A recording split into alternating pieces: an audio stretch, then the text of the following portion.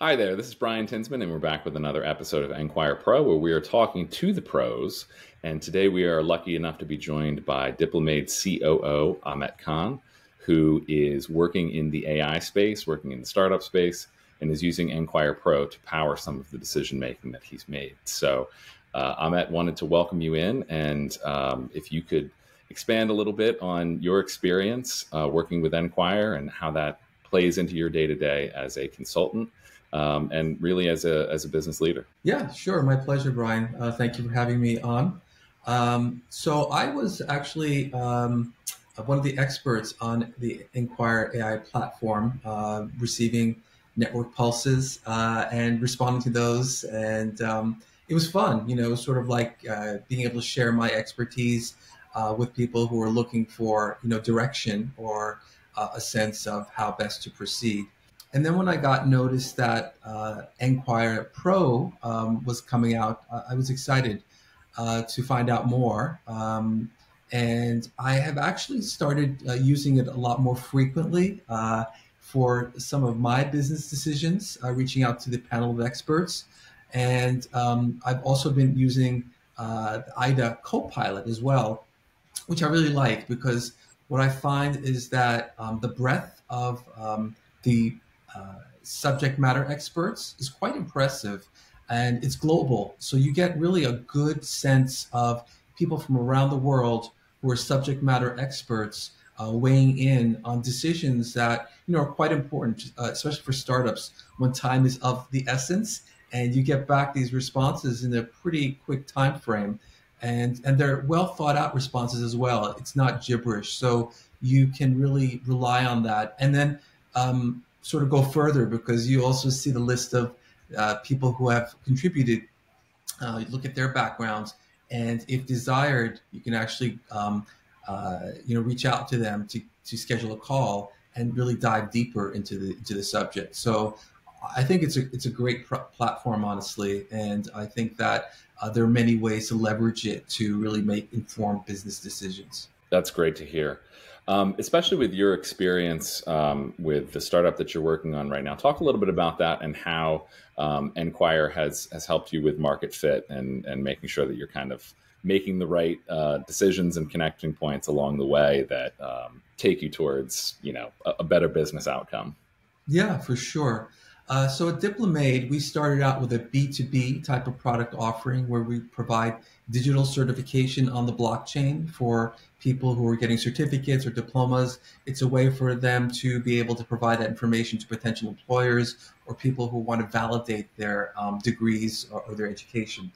Um, so I reached out basically, I, I um, specified, I was looking for people in the education technology space, blockchain space, and I really got some good um, input into um, how best to um, market, what type of audiences to um, uh, market the platform to, and uh, that was a great starting point uh, for us for the team. Um, most recently, we've been working on a B2C type of product, which is a browser extension called Ocu, O C U A I. And what it does is that it measures the amount of self learning people are doing online through YouTube videos or you know Substack or Medium articles, and we're using AI to be able to um, test their knowledge based upon the the subject matter that they're uh, reading or viewing, and then um, being able to level up and getting badges. So in this age of the importance of self learning and people not necessarily needing um, uh, college degree to apply for jobs. Uh, this way, uh, they can really um, measure and and benefit from you know the amount of time they're spending. And uh, this actually started this idea after uh, a couple of things. So one, remembering back to Malcolm Gladwell's book Outliers, where he's at 10,000 hours spent on a certain subject um, can make a person subject matter expert. And the other was um, the former uh, CEO of IBM. When she came on board, uh, she actually worked with the HR department and said, hey, we don't necessarily need to hire people with um, college diplomas. If they have the skill set for that particular role, mm-hmm. then we can consider them. So I believe that self learning um, is going to become even more prevalent and important.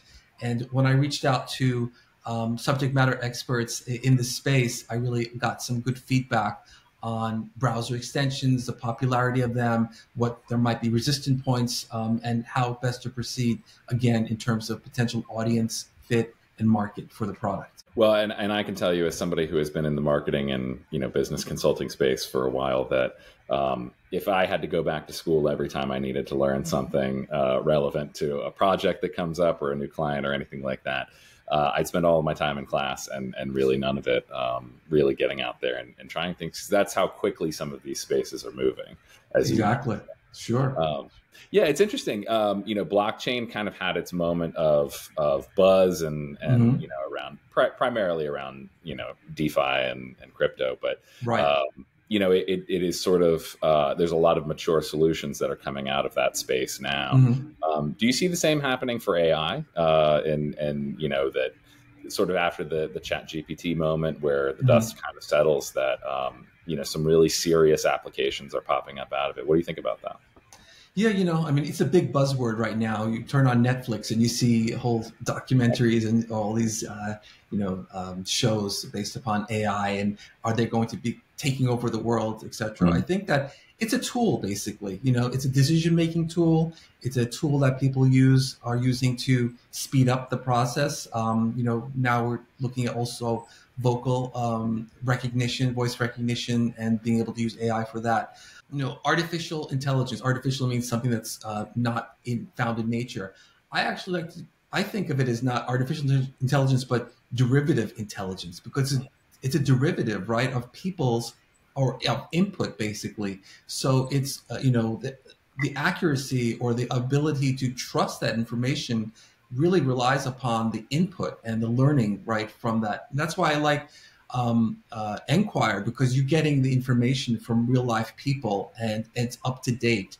Um, so I think that going forward, um, you know, AI is going to develop. We've already seen obviously the adoption over the past year in a huge way, and that is going to continue to refine, obviously. But again, it, it's going to depend really upon um, the source. You know, where is that machine learning coming from? Can I trust it?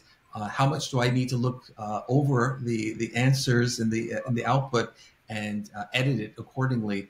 But uh, ultimately, I think people are going to you know they're going to probably use multiple channels, but they're mm-hmm. going to use those that they believe um, that they can trust in, in, in the information they're, they're getting.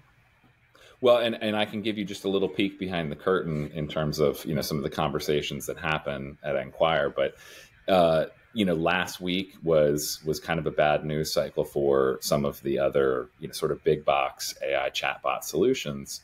Um, you know, Google ran out its Gemini, um, uh, you know, basically a summary um, section, and because of some of the inputs that they, you know, the the underlying data, um, which you know was capturing people's sarcasm, was capturing people who were just wrong about things. Mm-hmm um, you know, I, I, will say that there's a certain advantage with um, with Enquire in that people are incentivized to give real answers. You may not agree with them; they may have a biased perspective for whatever reason, but I think they're putting in a good faith effort to to give you real information. Um, mm. You know, when it comes to decision making, as as somebody who's in the C-suite, um, you know, how important is it to know that the other person or or the the source of information that you're making decisions based on um, is is reputable, high quality. You know, what is your process for that? Sure, I think it's extremely important. I mean, for instance, before we actually um, put out the um, the MVP on the B2C product, um, we did a survey going out to real people, and we found out actually the product is better suited for the younger generation um, so we're going to be using that um, for our marketing budget in terms of what platforms we're going to use to market this product. Uh, again, when I got the Network Pulse, uh, there were certain things that were pointed out that uh, from people, right, that were real time experts. So that is critical because when you're using marketing dollars in a real way, you need to make informed decisions and you have to trust that. And coming from people who are actually subject matter experts, is is is critical. I think honestly. So, and then when you can see their background and and and validate their expertise, that's that's a whole nother level. So, you know, getting back to your other question about AI, you know, I've seen on other social networks like Facebook where people are being um, censored or their posts are being taken down or they're being penalized because they AI doesn't always understand the nuances, right? That's so right. you have to have people uh, involved to some degree making those decisions and uh, an appeal process, etc. So um, it's going to be a lot of um, learning in the process and probably a lot of mistakes. But I think that ultimately, it's you know they say garbage in, garbage out. You have to make sure that you have true, valid, substantiated information to be able to make informed decisions. That's great perspective. I love that. Mm-hmm. Um, so, talk a little bit about uh, some of the features of Enquire Pro that you've been able to test out. You know, coming from the expert side, it, you actually have a pretty narrow view of what's happening on the back end. You basically mm-hmm. only know when you've been matched um, to a, you know a, an engagement. Um, mm-hmm. So, what was that experience like? And then, um, you know, how have you how have you sort of walked through some of the features so far? What are you using the most? Sure. So when I get a network pulse request, what I found is that I, I need to answer it quickly because there are a lot of uh, uh, people out there, which again validates the platform because it shows that you have a very um, strong um, uh, panel of experts in a wide variety of variety of subjects. So it's important, and that helps as well because when you put a network pulse question out there, you want to get uh, feedback as quickly as possible. So that really helped me because sometimes, you know, I saved for the end of the day. I said, I'll respond. And then when I tried to respond, uh, they had met the quota already. So it means that there are people out there who are actively engaging with the platform. So you know that it's not stale. So that's really important, I would say. Um, in terms of my use, um, when I put out the query uh, into the um, into the, the onto the platform, I was really amazed again the speed with which I received the replies and the quality of the replies and the background of the people who are actually responding to that query. So that even further ingrained in my head the um, uh, the impressive nature uh, of where Enquire uh, AI has uh, has gotten to. Um, and um, you know, like I said, I, I will look uh, to see what um, current uh, subjects are being uh, the most, which questions are being asked, uh, and that also gives a nice sense of like what the world is thinking about. Um, and um, I've used IDA, as I mentioned, just to get um, you know simple questions, pol- politics around the world, and you again you get really good on uh, you know on target type of responses. So overall, I would say the speed, um, the relevance, and the uh, expertise have all have all been really stellar. I would say on the platform. That's great. That's great. So I know we talked a little bit about networking and how um, you know that that that's sort of a, a, whole frontier that we'll pick up as there's mm-hmm. more daily active usage. But um, you know, are there any other um, just open ended? You know, are there any other features and things that you're looking forward to? Things that you would want to see with a product like this that mm-hmm. would really help in the way that you're using it right now? Um, you know, sure. when it comes to market fit and uh, you know how people are um, just gauging how how people in the knowledge sharing space are, are using tools like this. Sure. Um, I, I, would say the networking feature is something that I definitely like to expand on myself. Um, I found that other social media networks have become a little stale um, and you know oversubscribed. There, there is one large one, uh, which I won't mention by name, but that's been taken over sometimes by AI bots. So I'll get network um, connection requests from who are not real people, honestly, and it's a waste of my time, right? So I'll look at their background, I'll see that it's the bio is all made up. So that again, that uh, element of trust is really important. So when I know that the people on the Enquire AI platform are have been vetted out, um, their you know their bios are for real.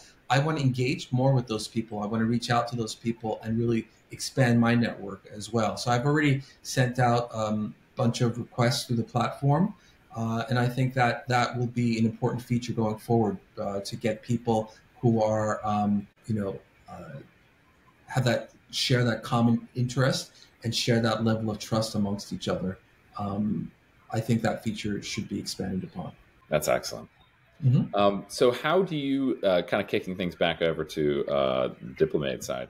How do yeah. you think um, AI and really technology in general, kind of that cutting edge where we are right now, mm-hmm. um, what is what is learning and development and sort of professional development? What do those look like in a few years as your tool and and um, and technology just sort of pushes the boundaries of where we are right? Sure. Um, the way that we'll be using AI for Diplomade with the uh, platform is to be able to uh, test people on the knowledge that they've gained basically using AI technology. So uh, basically tracking, you know, what material they've been following, what subjects they've been reading about, and asking, you know, not like simple questions, but things that are uh, going to really test their knowledge. So um, again, we want to show the validity of that person's subject matter expertise based upon all the reading and all the knowledge and all the research they've done, and to be able to use AI to um, uh, to uh, provide these uh, type of tests to gauge their level of uh, expertise is, is, is going to be important. Uh, I think that um, you know we'll probably look for other um, methods as well to be able to capitalize and leverage uh, AI, but I think it has to be a very thoughtful process because you have to really make sure that um, you know it's something that people are um, not just people who are using it, but the people who are going to be judging the people or um, uh, who are using it have mm-hmm. that faith and that confidence. You know, we've all read about um, students using AI to write their term papers or college essays, etc and now there are counter tools to check to see whether people have actually been using AI. And I know even on the Enquire AI platform, when they do the network pulses, right. there's a, a little uh, note there not to use AI, right? So ultimately, again, I think it's going to be a tool that's going to be refined. Um, it's going to get better, but people will have to still um, look at the uh, end end result. They can't just copy and paste. They can use it as a tool maybe to outline to to-do list or things to follow up on or to create like an outline for a presentation, etc. But that's what it is. It's just a time-saving tool initially that they can use to leverage to expand upon that and make sure that the information is relevant. As it gets more refined, or you know, with with Enquire AI platform, when you trust the people who are providing those answers, it gives you that extra level of confidence that hey, yes, I will review it, but I don't have to necessarily worry as much whether this it is um, false information or not. You know, it could be opinions, obviously, people, but again, you value those opinions because they have the expertise in those areas. That's great. That's great. So, in terms of uh, just your experience in the consulting world in the AI mm-hmm. space, um, you know, working with technology in the knowledge sharing arena, um, mm-hmm. where do you think all of that is going? Um, you know, you, you, sort of hinted at it there, but mm-hmm. um, do, do, humans ever come out of, completely out of the loop on on this stuff, or is this uh, you know sort of a, a, marriage that makes maybe both sides a little bit stronger? Yeah, I, I, think humans will have to be involved to some degree for oversight and to create the right prompts, right? So we'll probably see more jobs created uh, along those lines. I think it has affected basically um, the whole job market, right? I know people who are hiring managers who, first of all, are inundated with a thousand resumes when they list a job because AI bots are um, taking keywords from the job description, rejiggering, you know, people's resumes and automatically sending their uh, the resumes out. So that's making hiring managers' uh, lives more difficult to understand whether the applicant actually has the, the relevant expertise. So now they're counter countering with mm. the, um, That's right. their own tools, right, for that purpose. But I think, for instance, like um, a hiring manager who's hired 10 engineers might hire four or five, expecting those five to augment their productivity using AI. And I think that, you know, for instance, law firms who uh, we, I think recently we read about um, a large law firm laying off their first year associates because in the past they would uh, prepare the drafts, which the partners would review, and now the partner is actually using AI to prepare the drafts, and that is obviously lessening the need for more junior personnel.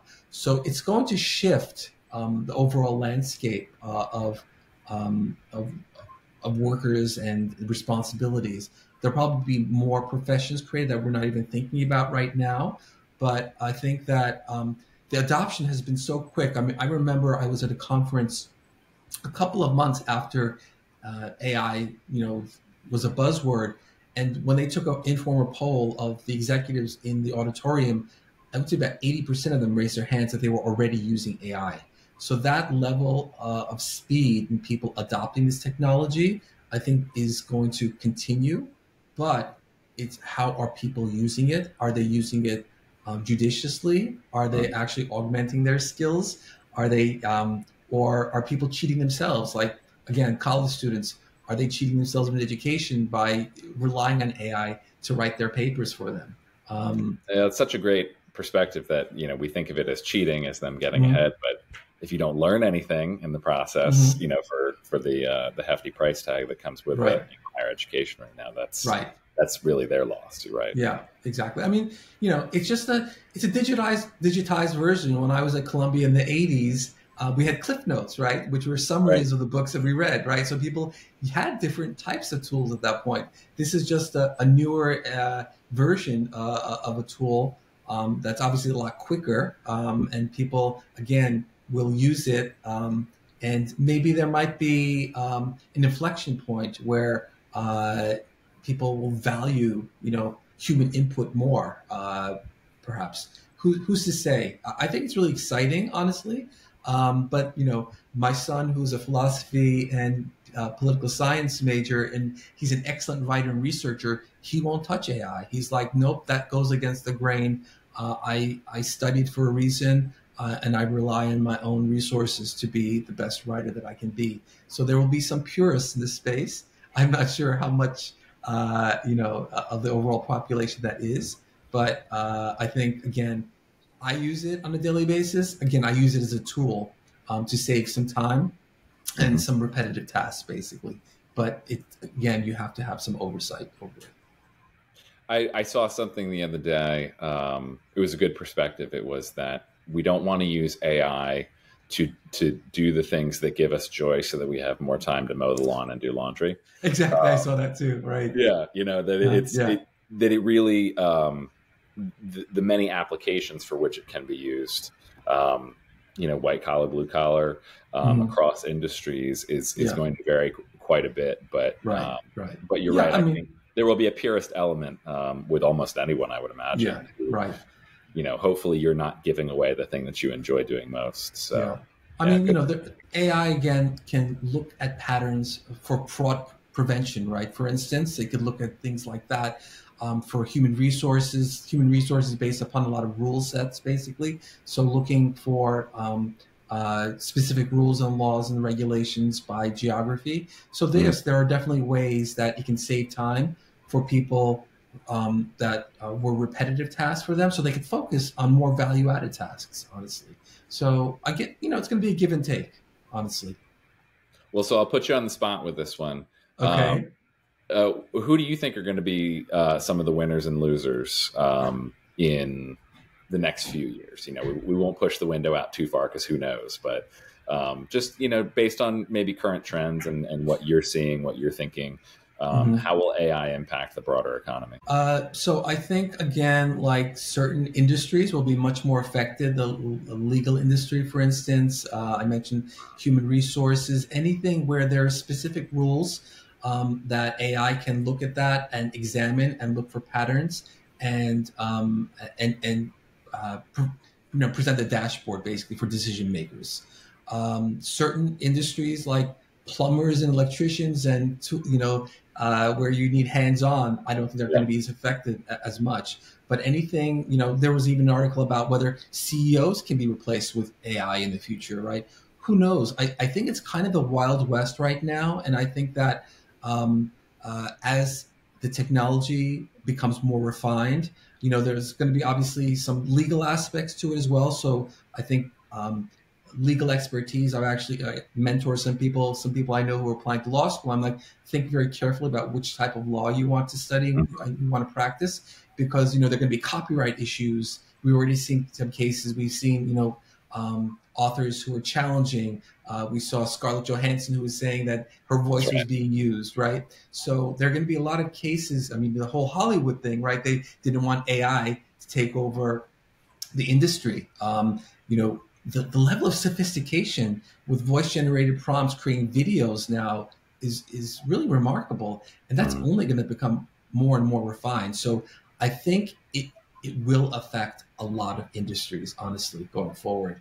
Um, to what degree, I, I, the jury's still out, but as it becomes um, more pervasive, as it becomes more uh, trustable, you know, uh, trustable, uh, I think that we're going to see um, maybe hiring managers um, waiting, uh, wait and see attitude, or hiring less people, right? And again, expecting them to augment their output with the use of AI. Um, so unless it's a really hands-on, you know, I was going to say chefs, but I saw an AI robot actually preparing food in the kitchen too. You know, the days of the Jetsons maybe are are not too far away from us. Well, and I saw uh, I saw a um, I guess an AI powered crane that was building a house uh, in a day. You know, mm-hmm. just just with with bricks. It's basically a Lego setup. Right. Right. Um, but it you know it it works. Yeah. So you're right. Um, mm-hmm. and, and once that stuff becomes possible, you're right. What other professions does that then create out of that, mm-hmm. out of that process? Right. So yeah, yeah, I, I, tend to agree. I think the winners are going to be mm-hmm. um, in industries that we don't really think about yet, and right. um, and those who who take the plunge and get involved early because I think it's it's a fast moving train right now. Sure, uh, you know we see AI with drones. Obviously, I think future wars, you know, are going to have robots. That element of discretion might be uh, less um, important. Uh, it's it's it's really you know it, it, it's um it's it's these are very interesting times to be living in, honestly, because everything um, information is spread so quickly. Um, and unfortunately, misinformation is also spread very quickly. We read about AI bots who are, you know, um, on social media platforms spreading disinformation, and people can be very susceptible to that. So that's another um, danger point or flashing sign that uh, people need to be aware of. Yeah, it's it's a war for your mind right now. That is mm-hmm. absolutely the world that we live in. So, um, yeah. well, I really uh, appreciate um, allowing me to pick your mind for a bit, and mm-hmm. um, you know, really enjoyed this, and glad to hear that uh, Enquire Pro is being is being utilized for your business and, and mm-hmm. to really um, create the efficiencies that you're looking for, really target things well as you um, go to market and things like that. So um, we'll stay in touch and, and mm-hmm. we'd love to get your feedback as we continue to roll out updates. As I mentioned um, before, you know, that we are planning on rolling out a mobile app, a new and improved mobile app to the uh, both the the Apple and Android stores. So mm-hmm. looking forward to that and I think we're going to see um, continued growth, continued interest on the platform, and hopefully that that networking component of it um, really realizes all of the potential that it has. So appreciate your time today, and um, you know we'll uh, we'll continue this conversation as we go. But uh, thanks so much for joining us. And is there anything else you want to leave us with? Any nuggets of wisdom from your perspective? Uh, uh, you know, thank you again for having me on. And I would say you asked me about winners and losers um, or winners. I would say that Enquire AI probably is going to be one of the winners in this space. So looking forward to the mobile app and all the new enhancements that are coming out. Well, I can't end it on a better note than that. So thank you.